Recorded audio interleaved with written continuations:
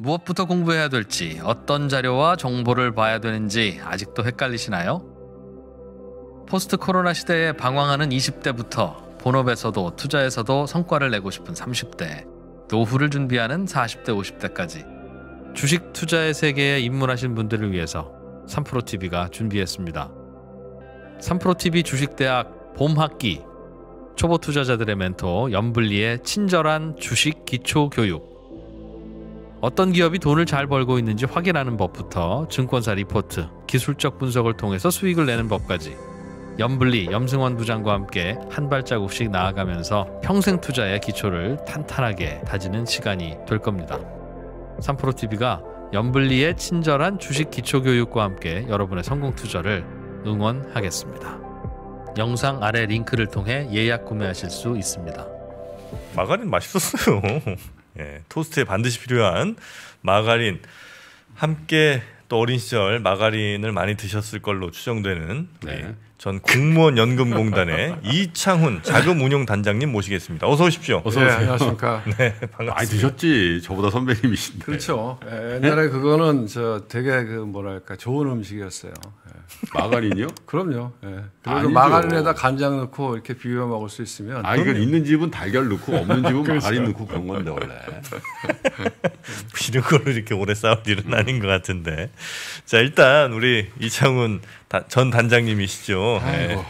한때 공무원 연금공단의 그 자금을 이제 운용하셨던 우리나라에요. 연기금 4대 연기금 4대 기금. 네, 4대 첫 번째가 국민연금이죠. 네. 그다음에 이제 공무원 연금. 음. 공무원 들 이제 그 연, 연금 관리하는 게 있고 그다음 사학연금이 있어요. 사립학교 교원들. 음. 네? 그다음에 이제 군인 연금 군인 연금이 있는데 음. 하나 더 하면 뭐 지방 행정 공제도 있고 뭐 이런데 어쨌든 요걸 4대 연금이는데 공무원 연금의 CIO를 하셨단 말이에요. 네. 그래서 국민연금이 요즘 참 문제잖아요. 네. 네. 그래서 국민연금 그 관련된 분들을 모시려고 했는데 또 자기가 거기 있었다거나 어렵죠. 또 그러면 말하기 좀 그렇잖아. 음. 오비인데 또 뭐 나 오늘 그런 얘기하니 그게 부자연스러울 것 같아서 약간 옆에 공무원연금 우리 또 외곽을 네. 때려야지. 하여튼 또 그래도 어, 그 돌아가는 구조가 네, 돌아가는 그 구조는 음. 이제 비슷할 테니까 네. 그 메커니즘 한번 좀 일단 들어보고 네. 언제까지 지금 이렇게 가는 건 왜 가는 건지 이런 얘기 좀 한번 좀 그러니까 네, 보도록 하겠습니다. 네. 일단 지금 어, 공무원 연금공단도 지금 계속 팔아제끼고 있는 거죠? 근데 공무원 연금은 뭐 제가 보기에는 자금의 규모가 크지 않고 네. 그래서 아마 거기서 집중적으로 파는 것 같지는 않아요. 제가 나오기 전에 한번 여기저기 한번 상황이 어떤지 한번 전화해 보셨죠? 네. 네, 네, 했는데. 네. 근데 지금 금 현재 팔고 있는 건 국민연금 제일 많이 팔고 있는 거예요? 거기겠죠. 이렇게 보시면 돼요. 그러니까 기관 우리가 이제 기관 투자가 얘기하는데 네. 그 기관 투자가 이제 매매 동향을 이렇게 보면 네. 어, 장중에 제일 많이 파는 데가 보면 두 군데예요. 하나는 보면 금융 투자 회사라고 하는데 증권사, 아, 증권사. 그다음에 또 하나는 연기금 등 이라고 표시된데 음. 이렇게 두 군데가 많이 파는데 제가 보기에는 이제 연기금 등의 등은 우정사업본부입니다. 국가기관으로 별, 분리됐죠. 그렇죠. 아니에요. 이제 합해갖고 연기금 합해졌어요. 아 연기금 등 네. 하면 네. 우정 우정사업부 이제 우체국 있잖아요. 네. 우체국에 예, 우체국 예금 있고 우체국 보험이 있다고. 네. 우정사업본부도 자금 규모가 한 80조 되니까 굉장히 네. 커요. 그, 그게 이제 주식에만 80조야 아니면 전체가 전체 전체가 80조. 저 우정사업본부는 제가 보기엔 주로 차익거래입니다. 왜냐하면 이제 유일하게 거래세가 면제받는 기관이 우정사업본부예요. 어. 그래서 차익 거래를 할 수 있는 데가 우정사업본부기 때문에 거래 비용이 없으니까 차익 거래가 유리하니까. 맞습니다. 그래서 이제 우정사업본부가 이제 연기금 등에서 그 많이 나오는 그 매매 물량 중에 하나고 금융투자회사도 마찬가지예요. 네. 제가 보기에는 거래가 큰 것 중에 하나는 차익 거래일 거고. 네. 어, 왜냐하면 이제 증권회사 같은 경우에는 뭐 차익 거래도 있지만 선물이나 아니면 ETF하고 연계돼 갖고 수많은 구조화된 거래들을 많이 하거든요. 네. 그래서 아마 그런 것들이 있을 것 같고 그다음에 나머지 이제 놓고 보면 이제 연기금이 진짜로 많이 팔아요. 네. 진짜로 왜냐하면 이제 이런 것들은 차익 거래와 관련돼 있기 때문에 어, 주로 어디서부터 매물이 시작되냐면 외국인 선물 매도부터 시작이 돼요. 네. 그래서 보시면 어, 최근에 보면 외국인들이 지속적으로 코스피 선물을 팔거든요. 음. 그러면은 이제 이렇게 선물이 저평가되는 현상이 나타나요. 우리 네. backwardation이라고 얘기하는데. 네. 그러면 자동적으로 차익 거래에서 매물이 나오거든요. 네. 그래서 어, 차익 거래 매물에 주도하고 있는 하나의 주체는 근본적으로 보면 외국인 선물 매도다 하는 걸 음. 먼저 말씀드리고 싶습니다. 그건 차익 거래고. 그렇죠. 네. 또 하나는 이제 기조적으로 최근 들어서 이제 초창기에 제가 보기에 작년에 많이 팔았던 거는 이제 자산운용사. 음. 그건 이제 공모펀드고 환매가 되니까 예. 하는 거고. 그 다음에 작년 하반기부터 연초까지 어, 기조적으로 팔고 있는 거는 연기금인데 음. 그건 제가 보기에는 이제 국민연금이나 사학연금이나 공무원연금이나 또는 말씀하신 대로 공제회 예. 이런 데서 나오는 물량이다 이렇게 이해하시면 될 것 같고요. 음.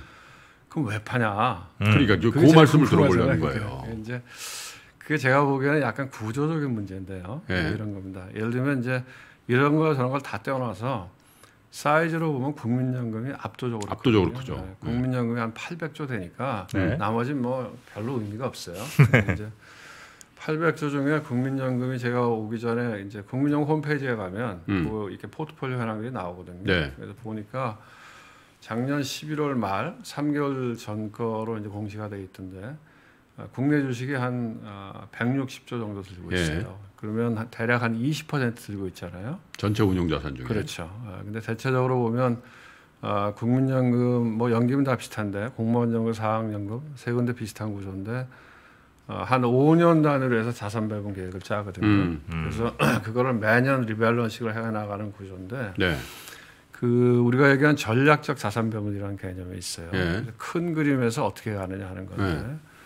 큰 그림에서는 두 가지입니다. 예. 하나는 어, 뭐냐면 어, 대체 투자 자산을 좀 늘리자. 음. 너무 이제 전통 자산, 주식이나 채권에 편중돼 있기 때문에 네. 수익률의 변동성이 크잖아요. 예. 그러니까 변동성을 줄이기 위해서는 이제 대체 투자 자산의 어, 비중을 좀 늘리자 하는 게 주식 하나고. 채권 말고 다른 거. 그렇죠. 예, 예. 를 부동산이라든지 원유라든지 뭐 이런 인프라 거. 자산이나 부동산이나 예. private equity나 예. 뭐 벤처 캐피탈이나 음. 등등등.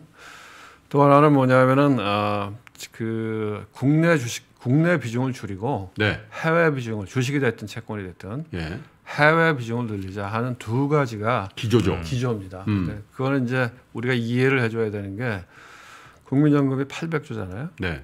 그럼 우리 지금 시장의 시가총액이 한 2천조 되나요? 예. 예. 그럼 800조가 2천조면 이건 너무 커요. 그렇죠. 그러니까 어, 국민연금을 고려라고 치면 고려를 어, 우리나라가 전체 전 세계 주식시장에서 차지하는 비중이 한 2%. 2% 내외죠. 네.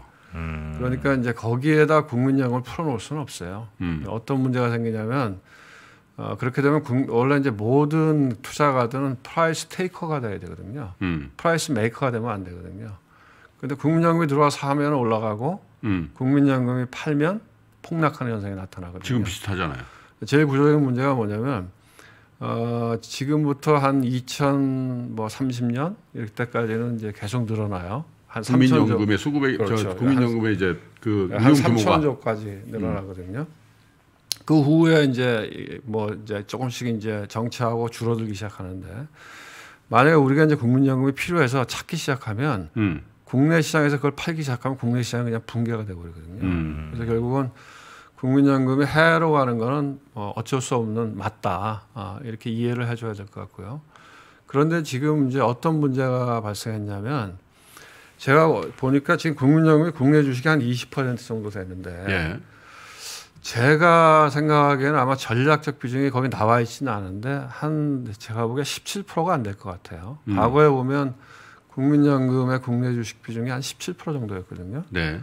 그러니까 아마 매년 조금씩 줄이는 걸로 돼 있을 테니까 네. 전략적 비중이 아마 지금은 16점 몇 프로쯤 되겠죠. 음. 그러면 비중이 한 3% 정도 오버가 돼 있잖아요. 그러니까 전략적 비중이라는 게 5년 장기 계획을 세우는데 그 매년마다 예, 그러니까 리밸런싱 하는데 어쨌든 긴 안목에서 한 17% 정도로 유지한다 음. 이렇게 돼 있다는 거죠. 긴 안목으로 보면 더 줄이겠죠. 네. 근데 이제 2021년도에 제가 추측건데 국내 주식 비중이 아마 한 15, 16.5%이 정도 음. 되지 않을까 싶은 생각이 네. 들거든요. 그런데 이제 이미 지금 20%면 많이 오버가 돼 있잖아요. 그 주가가 올라서. 그렇죠. 예. 근데 보니까 왜냐하면 다른 자산들은 그렇게 많이 안 올랐잖아요. 음. 근데 작년에 주가가 많이 올랐고 특히 국내 주식이 많이 올랐잖아요. 네. 음. 그러니까 가만히 있어도 편입비이 너무 올라가 있고 어떤 문제가 있냐면 이제 연금이 다 비슷한데요. 음. 저도 이제 가서 운영을 해보면 사실 이게 너무 막 촘, 촘촘하게 해놔갖고 CIO의 권한이 별로 없어요 재량권이. 음, 음. 근데 이제 특히 뭐가 문제가 되냐면 어, 예를 들어서 국민연금의 국내 주식 비중이 올해 뭐 16%다.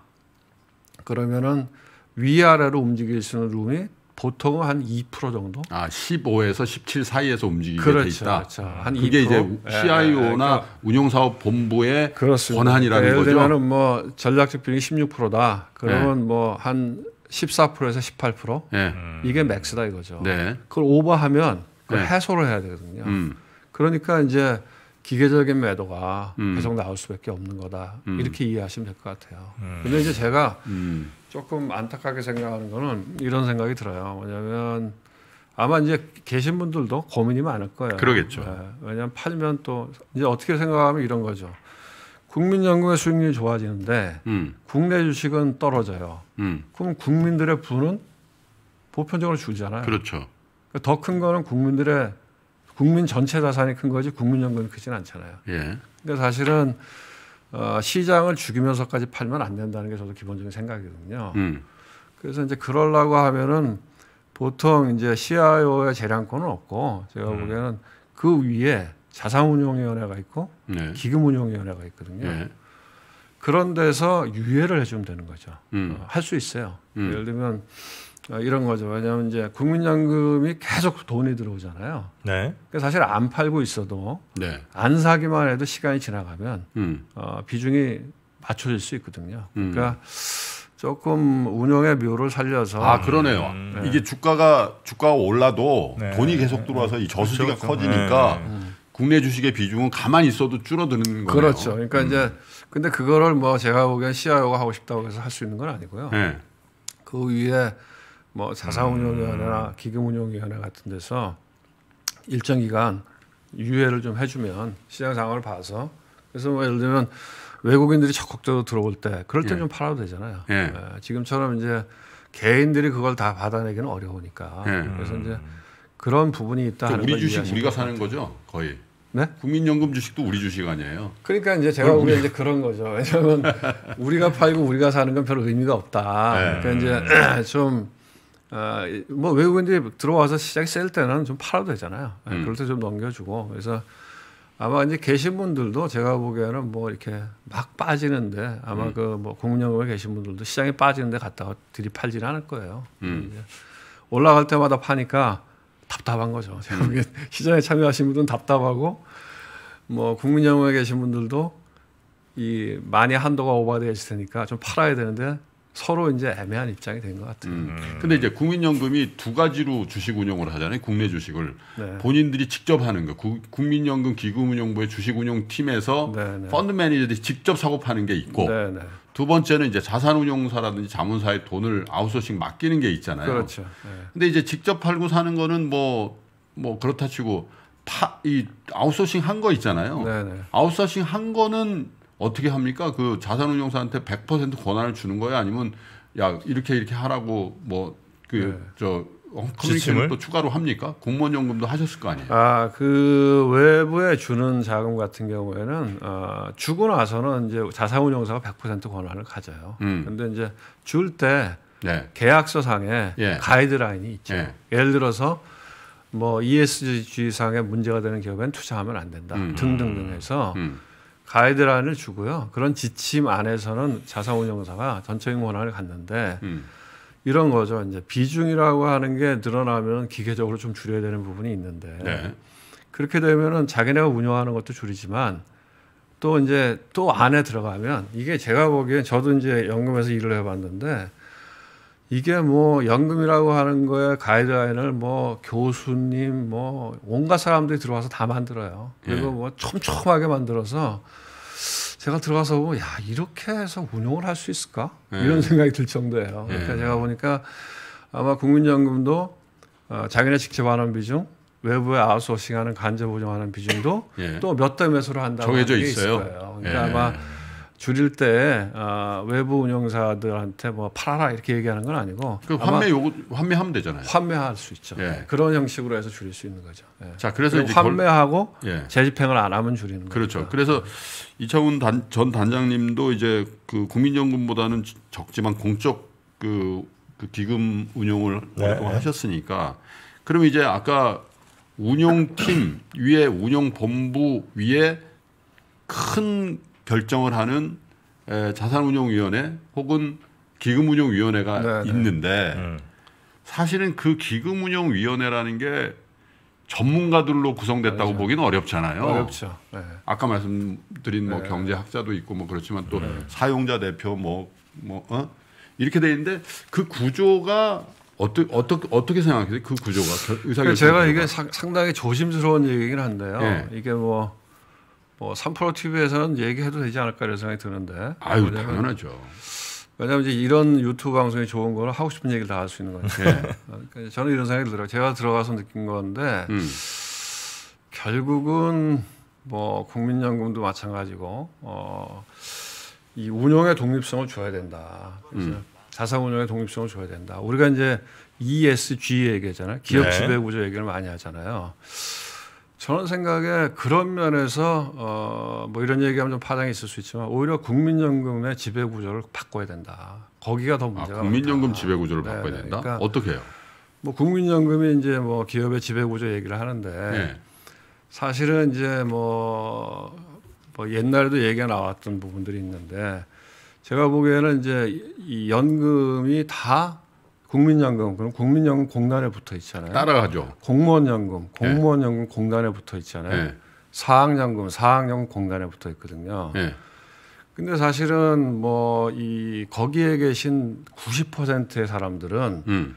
일반 직원이잖아요. 네. 네. 그리고 거기에 오시는 이사장님들도 이쪽에 전문성이 계신 분이 아니잖아요. 대부분 그, 그 소관 부처의 공무원들이 오시죠. 뭐, 아니면 정치인이거나. 음. 그래서 어, 그리고 그분들은 또 한 3년마다 임기가 되면 나가시고 네. 그러니까 제가 보기엔 국민연금의 예를 들면 운영 조직의 전문성이나 자율성이라고 하는 게 옛날보다 점점점 퇴보한다는 느낌이 들어요. 음. 독립성이 없어. 왜냐하면 어, 그 조직의 독립성이라고 하는 거는 인사권과 예산권이잖아요. 음. 근데 뭐 국민연금 CIO가 그런 게 있을까요? 없거든. 없고 음.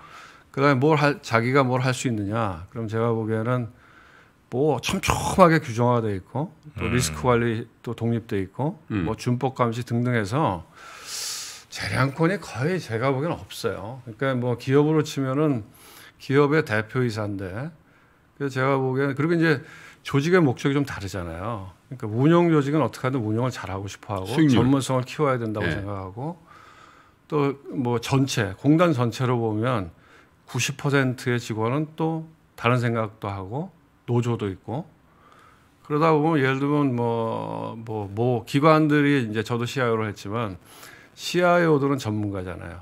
근데 외부 전문가가 들어가잖아요. 그거는 이제 그나마 2008년 금융위기 이후에 뭐 정부나 국회에서 국회에서 여러 가지 지적을 해서 네. 그래 오케이 CIO는 전문성이 있어야 되니까 외부에서 뽑아라 이렇게 하는데 그 CIO는 전문성이 있지만 나머지 사람들은 또 다른 생각을 하기 때문에 음. 뭐 대표적인 게 이제 순환 보직이거든요. 아. 보통은 저희가 어떤 일을 하려면 민간 조직에서는 전문성을 키우기 위해서 음. 그 일에서 더 전문화를 시키잖아요. 근데 공공 조직은 순환 보직을 하거든요. 그래갖고 한 3년 되면 바꿔버려요. 음. 그러니까 전문성이 생길만 하면 사람들을 돌려버리고. 그리고 CI도 외부에서 하더라도 길게 못 가죠. 평균 그러니까, 2년, 그러니까 2년이면 나와야 되죠. 것들도 제가 보기에는 예를 들면 캐나다, 우리가 이제 연금 그러면 음. 대표적으로 운영을 잘했다고 생각하는 연금이 캐나다 연금이거든요. 음. 근데 그런 데는 뭐 CIO가 잘하면 10년도 하거든요. 음. 근데 저희는 한 3년 지나면 바뀌고 음. 뭐 외풍도 타고 거기다가 정부 바뀌면 당연히 바뀌고 예, 점점 뭐 점점점 인사권이나 이런 것들도 거의 없고 음. 예. 그다음에 모든 뭐 규정화 다 돼 있었기 때문에 음. 그래서 하여간 제가 보기에는 그런 그 언젠가는 한번 공공기금의 지배구조에 대한 이야기가 한번 있어야 된다. 음. 제가 보기엔 뭐 공제에도 비슷한 것 같고요. 그래서 네. 그런 어려움이 있다는 걸 국민 여러분들도 좀 이해를 해주시면 좋을 것 같아요. 음.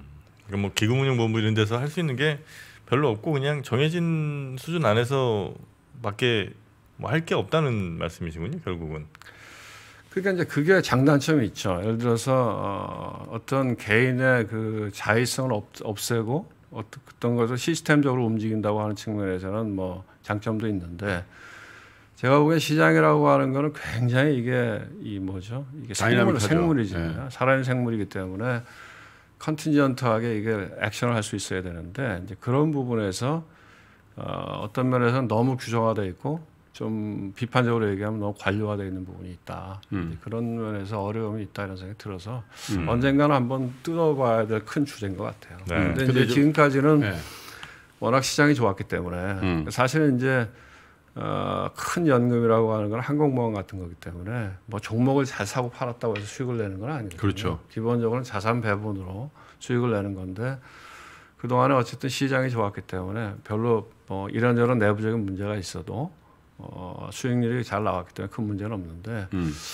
언젠가 한 번은 이거 이런 그 공공연기금의 지배 구조에 대한 이슈들을 한번 봐야 돼. 지배 구조도 지배 구조고 사실 제한된 권한 내에서도 그 운영 수익률을 정말 좋게 하려면 좋은 인력들이 거기 가서 그 좋은 대우를 받으면서 그 퍼포먼스가 좋으면 또 거기에 네. 상응하는 대접도 받고 해야 되는데 지금 민간 금융회사의 펀 매니저 어, 혹은 그거를 주문을 받아가는 증권회사 직원보다 어떻습니까? 안 좋죠. 펀 매니저들의 네. 대우가 안 좋죠.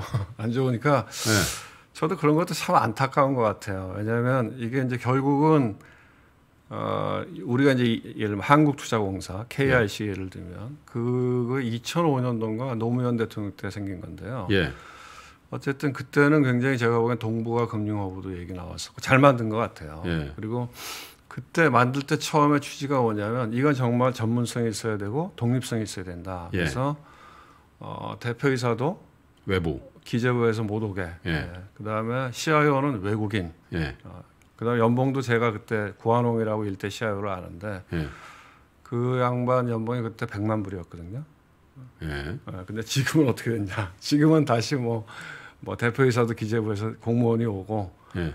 CIO의 연봉도 뭐 형편이 없어요 보면 음. 증권사 한 차장 월급 차장 차장 그 정도일 것 같아요 제가 음. 그러니까 아 우리나라 국부 펀드의 최고 운영 책임자의 그렇죠. 연봉이 그러니까 비슷해요 다 연기금의 CIO들도 네. 제가 보기에는 아마 운영사 팀장 연봉 정도도 될까 음. 말까요 음. 그러니까 이제 명예직입니까 그냥? 그런 그런 여러 가지들의 문제가 음. 있어서 네. 사실은 일하는 사람들도 어, 좀 여러 가지로 그러니까 음. 정말 그 애국심물이라는 거죠. 그래도 네. 국민연금 같은 또저또 전주 익산 쪽에 있으니까 그러니까 서울에서 기러기 하는 경우. 근데 이제 그게 이런 거예요. 지배구조 액시로 말씀드리는 게 예를 들면 국민연금 이상임 입장에서는 90%의 직원들과 형평성 10% 그렇죠 형평성의 문제가 있는 거죠. 네. 그러니까 이제 더군다나 이거를 충분히 이해하시는 분이 어, 별로 없잖아요. 음.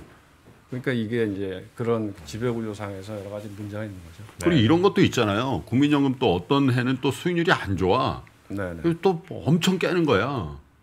그게 그렇죠. 원래 좋았다 안 좋다 하는 건데. 그렇죠. 그잖아요. 그렇죠. 원래 국민연금은 5년 단위로 봐야 돼요. 3년이나 5년 단위로 봐야 되거든요. 네. 왜냐하면 그 자산을 빨리빨리 움직일 수가 없거든요. 그런데 음. 한 5년 평균으로 봤을 때 수익률이 괜찮았다. 그럼 잘한 거예요. 음. 그렇게 봐줘야 되거든요. 음. 근데 매년 매년 국회에서 감사 받고 또 뭐 수익률 마이너스 나면은 언론에서 까고 이러니까 그 안에서 일하는 사람들도 적극적으로 뭘 하기보다는 예를 들면 감사를 보통 공공연기금 1년 4번 받거든요. 아, 그게 그게 문제인 것 같아요. 왜냐하면 국정감사에다가 감사원 감사에다가 소관부처 감사에다가 내부 감사에다가 뭐 그래서 그러니까 감사를 네번 받아요. 저도 현업에 뭐 그러니까, 일단 뭐 딜하러 들어가면 그러니까 그 일단 출입금지야 감사 때문에. 뭐냐면 뭘 적극적으로 잘하다기보다는 야 이거 하다 잘못하면 감사해서 문제가 되는데 이, 이런 마인드가 되니까 아. 어려움이 많아요. 네. 음. 그래서 이제 지금 뭐 시간도 많이 좀 지났는데 언제까지 그러면 이 저 국민연금은 계속해서 앞으로 비중 줄입니까 그러면?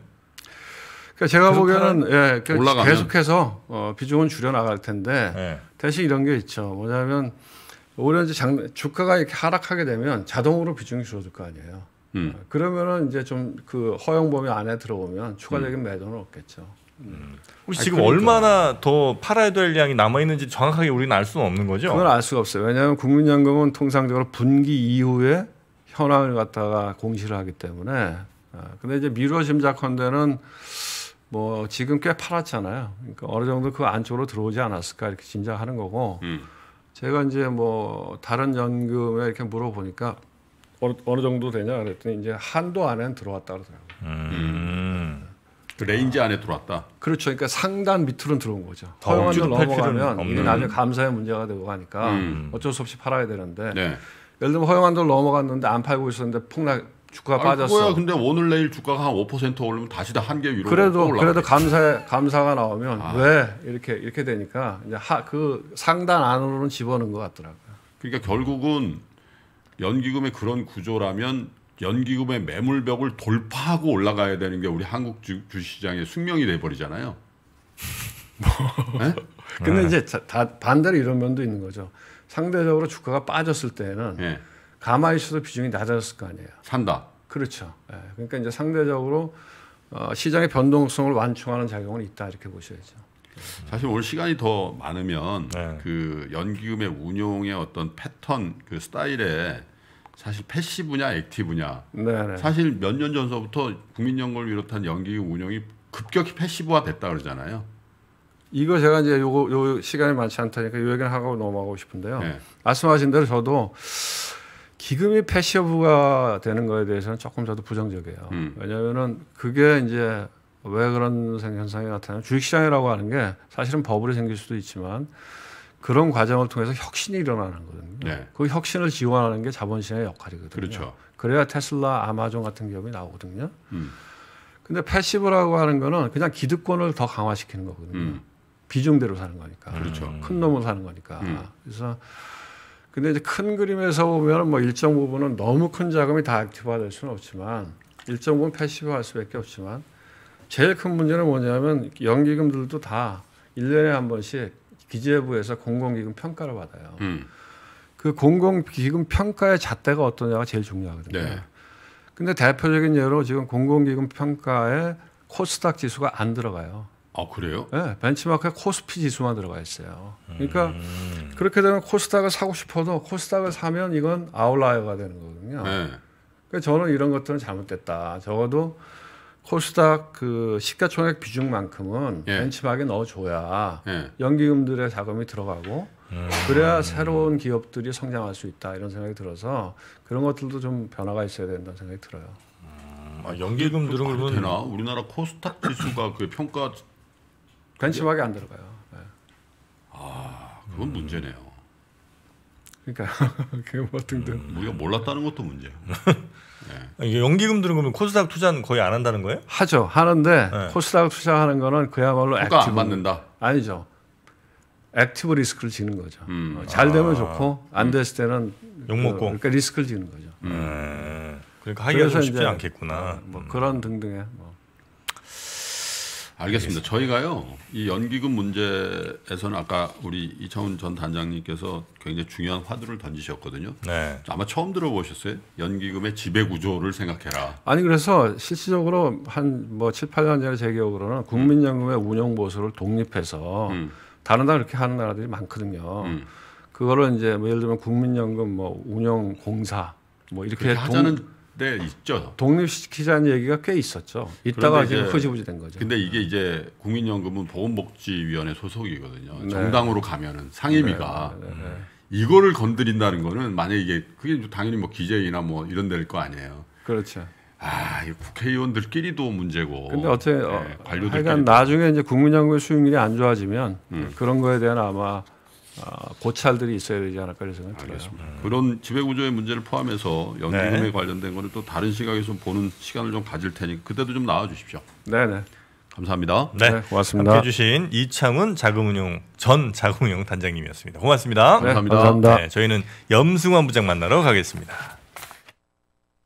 매달 월급처럼 따박따박 배당을 받는 ETF 그리고 1년 사이에 10배가 오른 테슬라 미국 시장에 상장을 준비하는 쿠팡까지 소식은 많이 들리지만 미국 주식 투자를 시작하기에 아직은 어색하신가요? 포스트 코로나 시대에 방황하는 20대부터 본업에서도 투자에서도 성과를 내고 싶은 30대, 노후를 준비하는 40대, 50대까지 미국 주식의 세계에 입문하신 분들을 위해서 3프로TV가 준비했습니다. 3프로TV 주식대학 봄학기 미국 주식에 미치다 장우석과 이항영의 미국 주식 완전 정복. 미국 시장의 제도, 특징, 세금부터 기업의 가치 분석, 포트폴리오, 유망 종목까지 장우석 본부장, 이항영 대표와 함께 한 발자국씩 나아가면서 평생 투자의 기초를 탄탄하게 다지는 시간이 될 겁니다. 삼프로TV가 미주미 미국 주식 완전 정보 클래스와 함께 여러분의 성공 투자를 응원합니다. 영상 아래 링크를 통해 예약 구매하실 수 있습니다.